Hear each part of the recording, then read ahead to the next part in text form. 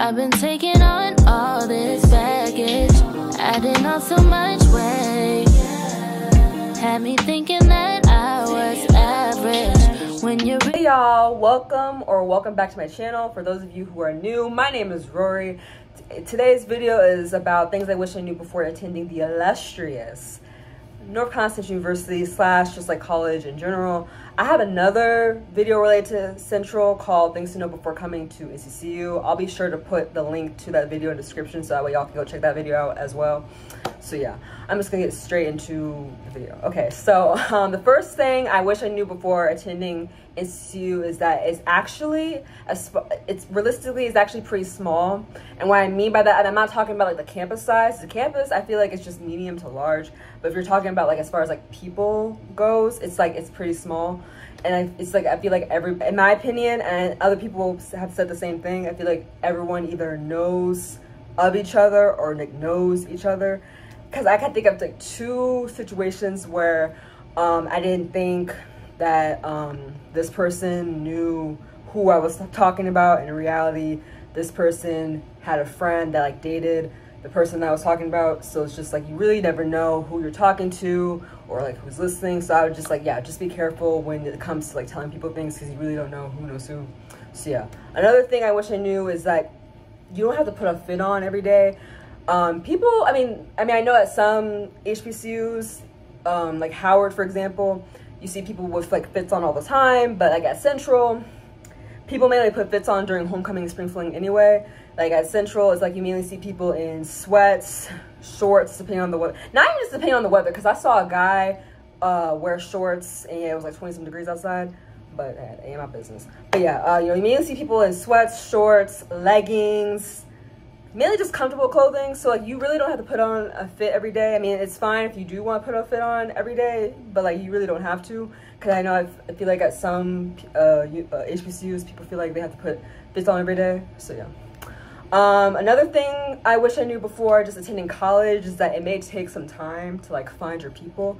For me, I felt, I mean, cause like I didn't really, I mean, I wouldn't say, I mean, okay, I met people freshman year, but I feel like I didn't really find my people until like this past semester, fall semester. And let's just say that like it, I mean, for some people they found they found they find the people uh, freshman year, and other people it may take a while. So just don't be like upset or don't be like discouraged that you won't find your people. Eventually you will. It may take some time. So yeah. Um some professors are old school and what I mean by like what I mean by that is like some professors like they still like they just they're, they're old school. So like they have like everything a lot of stuff is on paper and like not really no one's really using Canvas. So like some you'll have some professors who are old school and then you'll have some that are not so like old school because i remember like i had a professor during the summer and she was pretty old school like i'm talking like we did not use canvas we didn't use blackboard we literally did everything strictly on paper which is not a bad thing but like i just feel like some people they assume that everything's gonna be online which a lot of these professors yeah like your work will be online but some professors they want you to like have things on paper like have everything on paper. So yeah, just keep that in mind. And then um another thing i wish i knew before attending college is that you don't have to join five plus orgs. Because like i wish someone would have told me this like before entering college because like okay because like high school the high school that i attended a lot of the stuff i wanted to join had like all these like requirements it was like this whole thing. And so i was only in like I- like less than like what four orgs in high school. And so i remember like before picking what college i was going to go to i was like saying okay rory as soon as you get to whatever college you go to just like go to the org fair and see what you like and join all these orgs. And honestly like i didn't get to go to the org for my freshman year but like I, rem- I remember I went to like the interest meet. Like, luckily, I was already familiar with some of the orgs on campus, so I remember I just went to those int- the interest meetings for those orgs, and like somehow I ended up doing five all within the same semester. I mean, if you think you can handle uh, five orgs, go ahead. But me personally, I couldn't handle like the five works. I mean, I was literally like taking like six classes first semester freshman year, and like I I was like breaking out all like, on this time. Of my, it, was, it was crazy. But like, yeah, you don't have to join five plus orgs. But like I said, if you, if you think you can handle it, fine. But just figure out a way to like manage that, but then also like classes as well. And then the, lastly, um, it can be difficult to get a hold of financial aid.